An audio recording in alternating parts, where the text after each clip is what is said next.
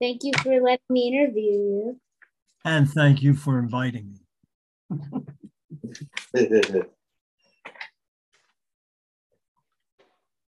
Okay. What is your full name? Howard Morton Miller. Why did your parents select this name for you? I don't know. I I don't remember, but usually in the Jewish tradition, uh, we are named for somebody in the family who lived before us. Um, and I forget who that may be. I I, I don't remember. Hey, Dad, Yeah. you wasn't there a story that you were named Morton because your dad worked for Morton Salt? Uh, it could be, but I don't think so. It doesn't follow the tradition. Right, right. Right, right. I I think I was kidding around. That might have been a joke. Yeah. Did you have a nickname? Yes, Howie. And my best friend, one of my best friends, still calls me Howie when I when we talk to each other. Ask about how, ask him how weird. That's not part of the question. That was one of the things. One of the, didn't you have friends who called you how weird? Yeah, Um, that was Kenny. he was no friend. No, uh, that was much later. I mean, that was uh, during the 80s. Um, not when I was a kid. He didn't know me as a kid. But he did call you how weird. Well, that's Kenny's. When and where were you born? I was born on June the 15th, 1940, in a place called Philadelphia, Pennsylvania. Ever hear of it? Yeah. Oh, okay. All right. How did your family come to live in Philadelphia? Well, uh, my father, and here we go with Morton. Uh, my father lived in Virginia, but one of his first jobs he ever had was with the Morton Salt Company. They still make salt. You'll find it in the grocery store. If you go where the salt is, there's Morton Salt. And he used to work as a salesman for Morton Salt and that was in the Philadelphia area. And that's where he met my mother when he changed jobs, moved to the Philadelphia area, and uh, met my mother. What is your earliest childhood memory? Well, uh, the um, I can tell you a few of them. Okay. Uh, one is sort of negative. Um, we'll get that out of the way first. When I was in uh, kindergarten, um, I bit one of the kids in kindergarten. and uh, my mother um, was very upset about that. And uh, she made me, of course, apologize. Um, but she also bit me. My mother bit me so that I could feel what it felt like to be bitten. And I never bit anybody. Um, after that, never bit. Describe a typical Wait, family. wait, wait, there's more, more. Oh, I, I have really good memories, especially of elementary school. Um, in the playground uh, during recess, uh, the, the playground had a place where there was a hill of rocks, and we used to play tag. Tag, you're it and the rocks were neutral territory. You couldn't be tagged on the rocks. Um, and that was fun. And then we used to play stick ball, we played step ball, we played wall ball, and the balls were like the size of tennis balls, but they were like red rubber. And um,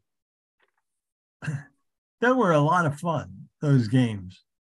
Um, we played them a lot. And I played piano. So I began playing piano when I was six or seven. But before I played piano, my I remember I was six years old, and my parents got me an, an accordion. and I really didn't like the accordion. Uh, it was that's a heavy instrument. Even the little accordions were heavy. You strap them on your shoulders. And then they finally bought a piano. And I love that. Step ball. Step ball. We would throw the ball against the steps. We had steps in, uh, at the house as hard as we could. And the person that I was playing with how to catch that ball no matter which way it went. And, and until they caught the ball, they didn't have a turn until they were able to catch the ball. That was step ball. Describe a typical family dinner. A typical family dinner, we had a little house um, and a little kitchen so that, uh, and there was a little table in the kitchen.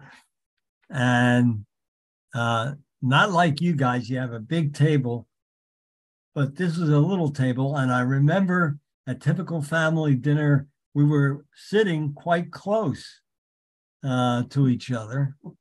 And the table was very, very, very crowded. Did things fall off the table? Um, sometimes. Who was the oldest relative you remember as a child? Oh, well, that's easy. My mother and father's parents, and I l- really like them a lot. They were from Russia, or they were from Kiev, uh, which is part of Ukra- Ukraine. Ukraine. You hear a lot about Ukraine these days, but Ukraine used to be part of Russia. And um, they were from a place near Kiev in Russia, both of them, but they didn't come over together. They met when they were here, both of them in the United States.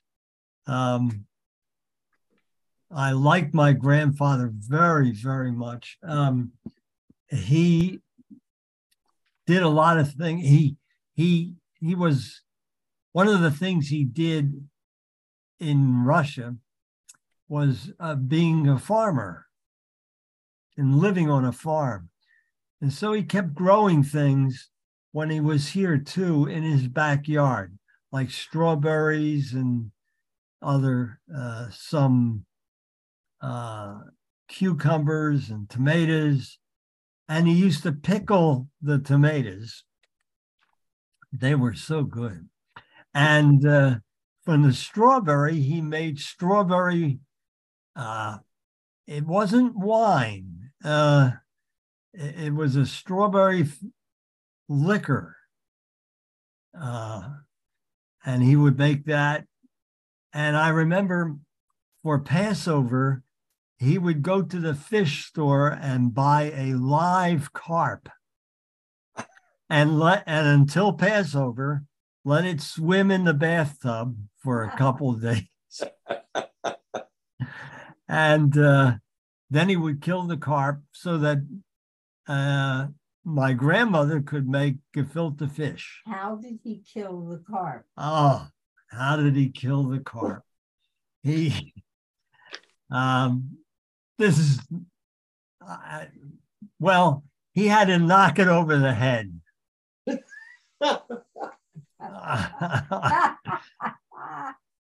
Did the water spill out of the tub? Uh, no, I don't remember that. Okay. Ah, okay. Oh. Hmm. Are there any special heirlooms, photos, Bibles, or any other memor- memorabilia that you've been passed down in your family? Um, mainly photos. A lot of photos.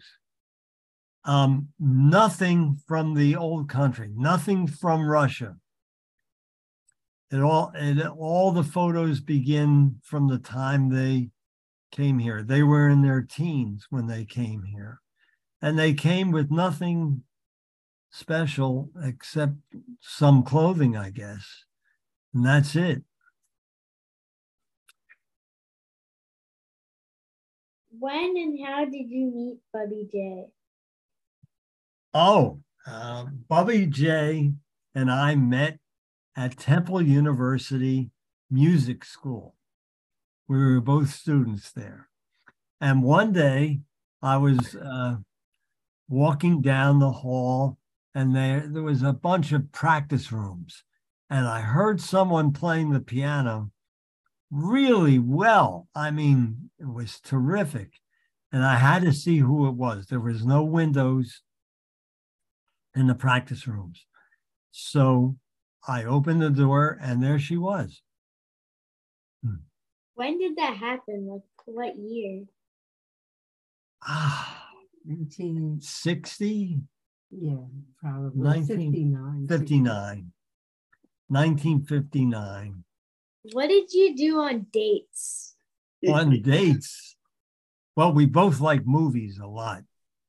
So I know we went to the movies, we went to concerts, and we, uh, she introduced me to foods that I never ate before when we went out. Um, in my house, we were kosher, so I never was allowed to eat, uh, let's say, crab or shrimp or lobster and those things. And so I I I like those things a lot now. Uh, and so we went out to dinner and we would make out, you know. Hmm. No reaction. Marc, could you lower? Yeah, G rated. lo- Marc? you Oh, what? what? Could you lower the screen so we don't lose Wesley's face? Oh, yeah. You gotta sit up too, bud. Oh, that's good. That's good. Thank. If you, and hey, if, If- there's if, if- there's anything you think of while he's answering, you can follow it up with another if question. you could choose one thing that you wanted the world to remember about you, what would it be? Um,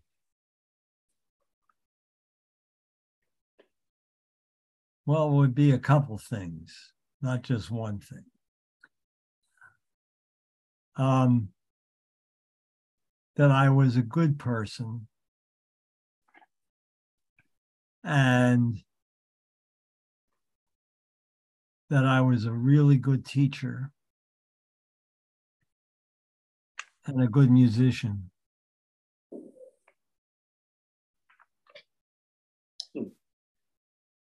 What do you want me to remember about life or growing up?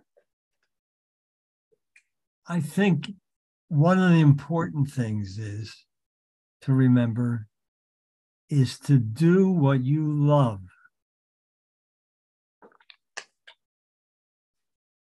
Do what you love to do. And you'll be happy about that. What's your favorite food? Oh, lobster. Any specific seasoning on the lobster? Uh, uh, butter.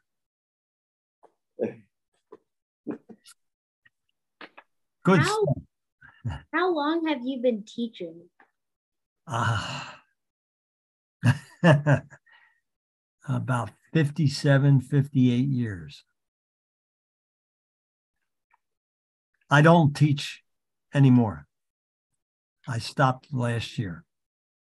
Last year? Two years ago. Yeah. Yeah. What? during the COVID. Mm. Yeah, that was a really rough time. What was your favorite thing to do as a kid? Um, play with my friends. Um, all the things I told you about the stick ball and the wall ball. oh, yeah. When I was very little, even when I was like six or seven, I used to put records on and classical music and conduct. Hmm. I like conducting. Uh, so that's one of the things I did during my life a lot.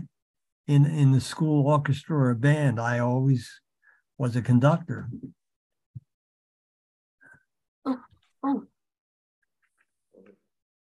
Went Over. Oh, Wait, wait, we'll get back. we'll get back. Okay. Okay, we're back. Yeah. You froze. Okay, we got you. We got you. Yeah. How many instruments do you play and teach? Uh, um, well, I can play most of the wind instruments. I guess I can play a little bit of all the instruments except oboe. Do you have oboes in school? Anybody playing oboe or bassoon? I think like in the upper school, I think there's one oboe there. Yeah, could be. Those two instruments, oboe, bassoon, and guitar. I couldn't learn guitar. And I had friends who played guitar and they tried to teach me, and somehow Yeah. I couldn't. So, those three instruments, but I'm familiar with all the other instruments. I've never played harp either, but I don't want to harp on that. So, Have you boom. teach the harp? Have you taught a person? No, no, no. I teach mainly wind instruments and brass instruments that you have. Well, I don't need to tell you. Tr- trombone is certainly one of them. Uh, that was my major in college, trombone. But wind instruments mainly is what I teach. Okay. Last question. Yeah. Who was or is your best friend? Oh boy. I'm going back to elementary school uh, and beyond. In elementary school, his name was Jerry Fritz. He was my best man at, at our wedding. Um, also, beginning in my teens, my best friend, no doubt, and still one of my best friends, is was Jay Welsh. Jay, this is really interesting.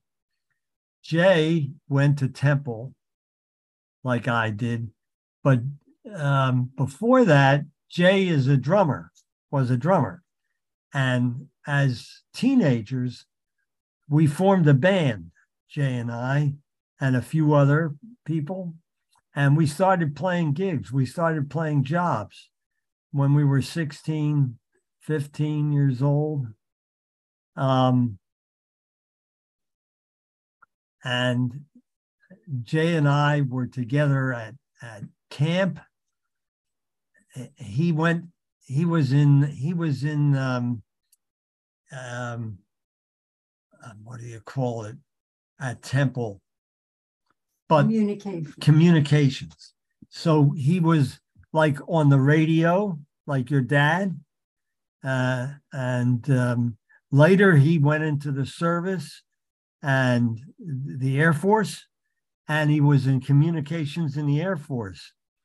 And he became the announcer for the Air Force Men of Note, the Air Force Jazz Band.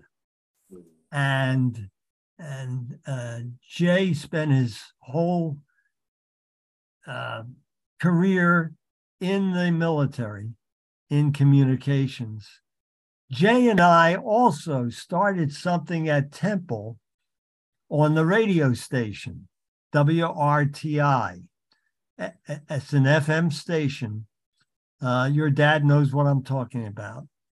And until then, until Jay and I came there, all they did was some soap operas and and and music, some classical music programming.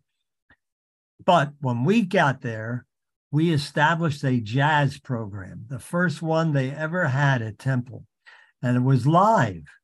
We did a live jazz show on the radio Tell them about every week. Tell them about being in the middle of the street. Oh yeah, Jay. Jay Jay used to make up these really funny, outlandish introductions, and uh, we had a lot of fun doing that. And then we went to the same. We were counselors at the same camp together. We did shows.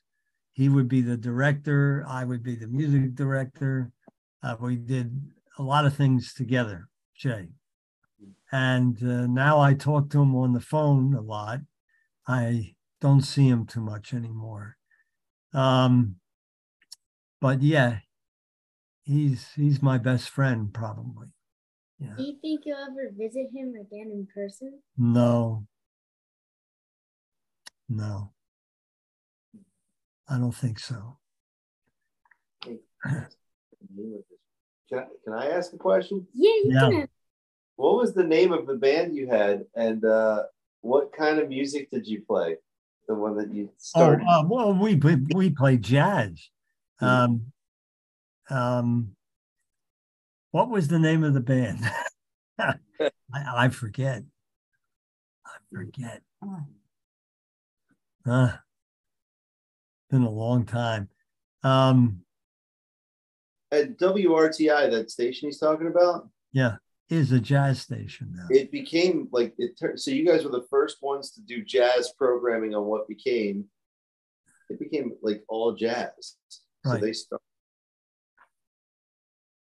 And- And another thing that uh, your dad probably knows, um, I wanted not to be, before I wanted to be in music, I wanted to be on radio.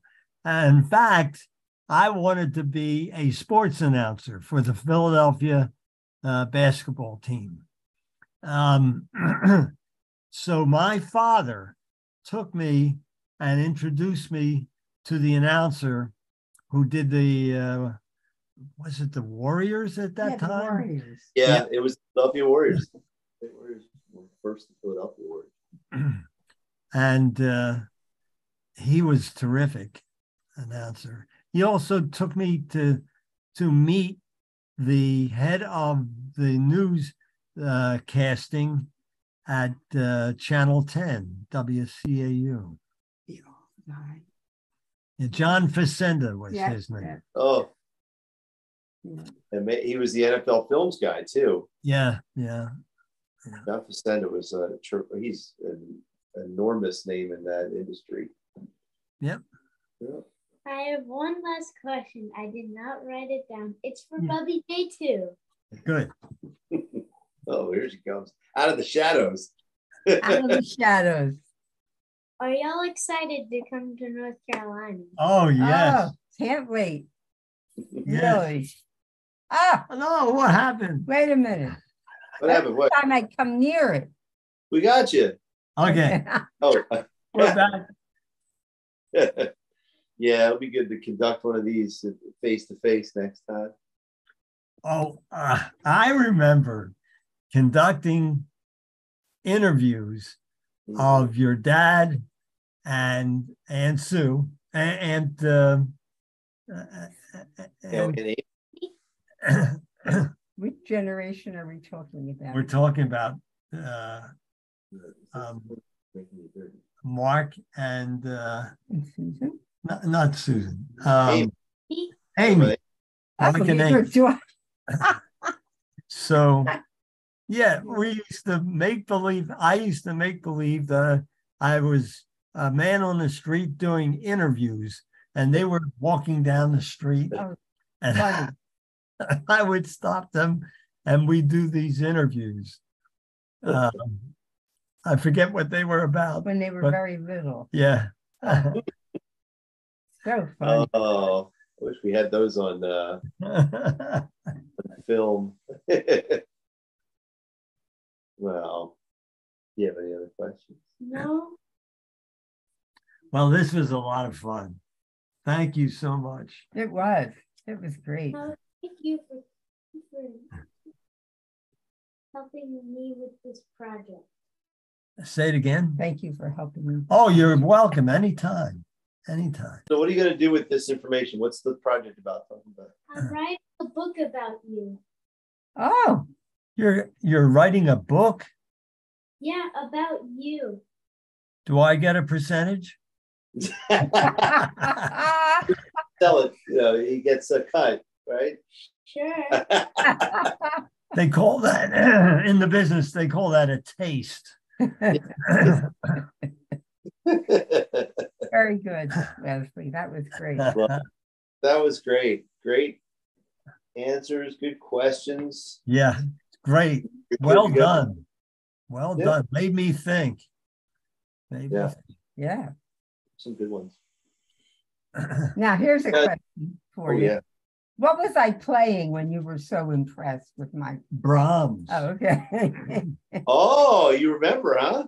Oh yeah. What what uh what Brahms what symphony are we talking? No, no, no. She was playing uh, a piano piece Raps. or Rhapsody Yeah. by Brahms. But enough about me. Thank you. All right. Well, let, let's uh we can we can end this thing. We'll stop the recording and uh you'll take it from there, Wesley, right?